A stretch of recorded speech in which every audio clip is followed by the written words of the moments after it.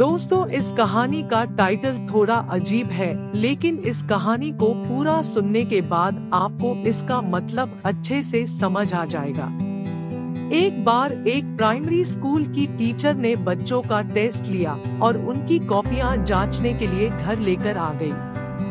बहुत सारी कॉपियों को जांचने के बाद एक बच्चे की कॉपी देखते देखते उसकी आँखें भर आई और आँसू भी आ गए डॉटे ऑफ़िस से तुरंत आए पति ने पूछा कि क्यों रो रहे हो? तो उसने बताया कि आज सुबह मैंने टेस्ट लिया था तो मैंने बच्चों को बोला था कि तुम लोग अपनी सबसे बड़ी ख्वाहिश के ऊपर कुछ पंक्तियाँ लिखो। तो एक बच्चे ने लिखा है कि उसकी सबसे बड़ी ख्वाहिश है कि भगवान उसको मोबाइल बना देंगे। यह सुनकर उसका पति ज़ोर ज़ोर से हंसने लगा और बोला कि इसमें रोने वाली क्या बात है? तो टीचर बोली, आगे तो सुनो कि बच्चे ने क्या लिखा है। ए, बच्चे ने लिखा है कि यदि अगर मैं मोबाइल बन जाऊँ तो घर में मेरी एक खास जगह होगी और सारा परिवार मेरे आसपास रहेगा। जब मैं बोलूँगा तो सारे लोग मुझे ध्यान से सुनेंगे ही नहीं, बल्कि मुझे रोका टोका भी नहीं जाएगा। और ना ही उल्टे सवाल होंगे। पापा ऑफ़िस से आने के बाद थके होने के बावजूद भी मेरे साथ बैठेंगे।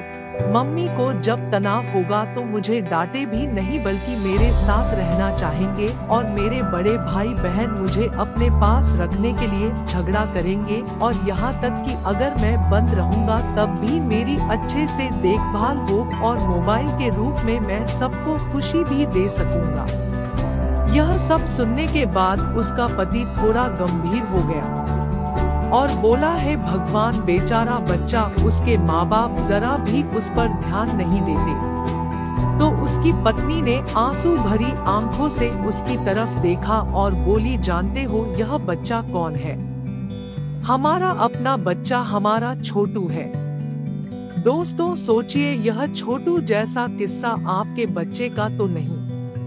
आज की भागदौड़ भरी ज़िंदगी में हमें वैसे ही एक दूसरे के लिए बहुत कम वक्त मिलता है। और अगर हम वह वक्त भी टीवी देखने और मोबाइल में खेलने और फेसबुक में गवा देंगे तो हम कभी भी अपने रिश्तों की अहमियत और उनसे मिलने वाले प्यार को नहीं समझ पाएँगे।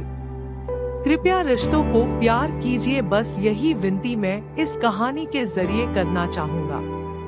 आपका कीमती समय देने के लिए आपका बहुत बहुत धन्यवाद।